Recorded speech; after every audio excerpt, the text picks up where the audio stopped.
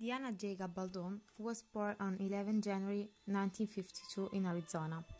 She holds a degree in zoology, a master in marine biology, a PhD in ecology. She received also an honorary degree in humanities. Full-time assistant professor, devoted herself to research, was an expert in numerical analysis and database, and held courses in anatomy and other subjects. In the mid of 18, Gabaldon wrote articles and reviews for computer magazine nationwide. After the publication of her first book, she dismissed from his position at Arizona State University to become a full-time writer. Her first book in the series of Outlander novels is Outlander. The novel deals with the theme of the Jacobite uprising of 1745 and the Battle of Culloden of 1746. Claire, having or uh, some information about the historical events of the battle, since her first husband, Frank Randall, is a historian, tries to prevent the defeat of the clan, which includes Jamie, an ally of Prince Charles, not by choice. The Jacobite insurrection of 1745 affected the territory of Great Britain between 1745 and 1746. It was the last episode of the Jacobite uprisings, as well as the last attempt to bring the House of the Stuarts to the throne of the Kingdom of Great Britain of the 18th century in favor of the House of the Hanover. Inverness, 1945.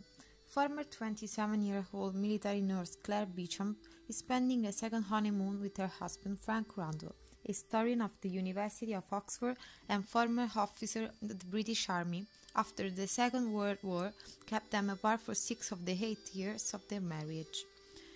During a solo walk in the countryside around Inverness, Claire finds herself on the hill of Craigh na Dun, on which stands an ancient circle of Druidic stones. Approaching one of the stones, the woman is magically transported backwards in time until she finds herself on the same hill, but in 1743. Dazed and still unaware of the time she finds herself, Claire runs into Jonathan Randall, a ruthless British Army captain, and her husband Frank Ancestor, in pursuit of a group of Scottish Highland bandits. Kidnapped by one of these bandits, who steers Randall while trying to use violence, she is taken to the cottage where the whole group has taken refuge. Here she meets the young James Fraser, called Jamie, wounded in the shoulder during a clash with the British, and she cures him. Spilled for a French widow, Claire is taken to the castle of Leoch, residence of the Mackenzie clan, waiting to find out if she had told the truth. Constantly guarded and unable to escape to try to return in her time, Claire becomes the new community doctor until Dougal Mackenzie, brother of the chief Colum, asks her to join him and his nephew Jamie on the journey through all the territories of the clan to the tenants. One of the stages of the trip will be Fort Williams, where an English captain will help Claire get in touch with the French relatives. Arriving at the fort, Claire finds herself in front of Randall, who, believing her a spy, submits her to a summary interrogation, during which, however, he cannot get any information about the person for whom she works. When Randall summons Claire for a more in-depth questioning, Dougal forces her to become Scottish and therefore untouchable by marrying Jamie, of whom, in time, Claire's fall in love reciprocated. One day, while Jamie is absent, Claire is accused of witchcraft, imprisoned and tried, but the man comes to her defense and saves her from the stake. This fact brings Claire to tell him the whole truth, and Jamie accompanies her to Craigh na Dun. Claire notes that the transition to the present still exists, but decided to stay with Jamie. The two reach Lallybroch, the land of the Fraser clan, of whom Jamie is the boss, and continue their married life together with his sister, Jenny, and her husband, Ian, and their children. However, Jamie is wanted by the English crown for several crimes, and just days after the birth of Margaret Helen, Jenny, Ian's second child, is captured and jailed in Wentworth prison, awaiting the death sentence. In an attempt to free him, Claire sneaks into the prison, but it is discovered by Randall.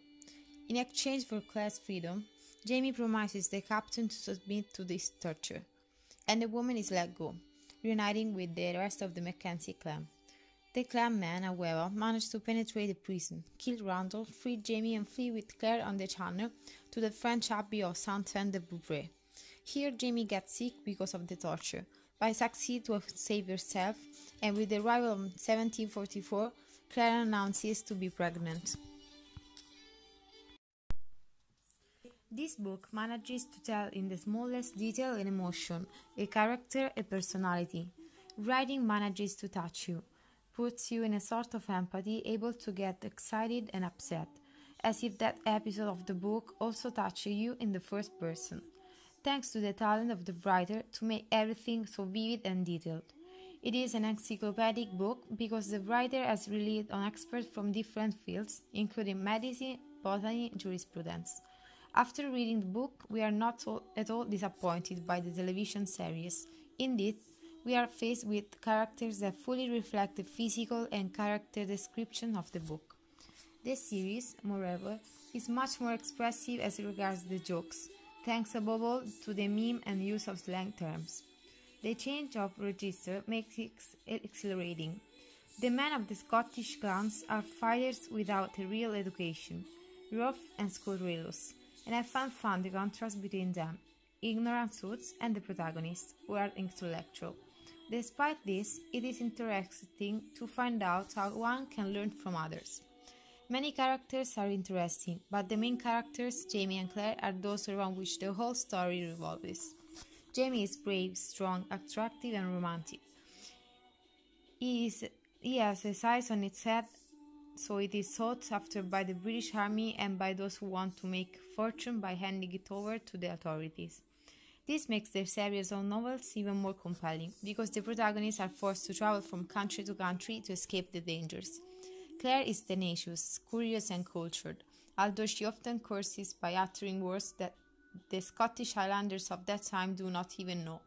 Moreover, being the woman at that time still inferior, it is strange for you that you speak in that way, and even more that gives order to men.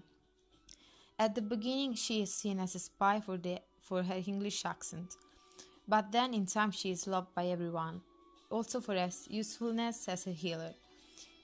It's a fascinating novel, and I really appreciated the ironic note of some characters that gives the book a particular side. I like this novel because it contains all the genres I prefer adventure, passion, and fantasy, and the author's meticulous writing only makes the book even more engaging, sinking into the atmosphere of the time, as if I were a Scottish Highlander too. I think it's the bestseller because, first of all, it's a unique, original story. I read a lot of books, and I have to say that sometimes while I'm reading, I happen to have a deja vu, as if I had already read something similar, as if the idea had been taken from another book. Well, with this book, nothing of this happens. Sometimes we open a book because we like reading, because we want to lose ourselves in something that is not our reality. And this novel makes you travel with them over time and then return to your life when you close it. As soon as you reopen it, however, you are in another historical period, with new characters and different countries. It's a bit like a portal. Take a step and you do not know where you'll find the next second. What makes me think more in the book is the difference between two times so different technological and advanced, and the other primitive and backward. It would be really hard to have to choose in which era to live, if you really had the chance. Yet Claire has not the slightest doubt. I stopped for a moment to think about what I will do, and being very curious, I would like to have the chance to take a trip into the past, especially in suggesting and breathtaking landscapes like the Scots, dotted with wonderful castles.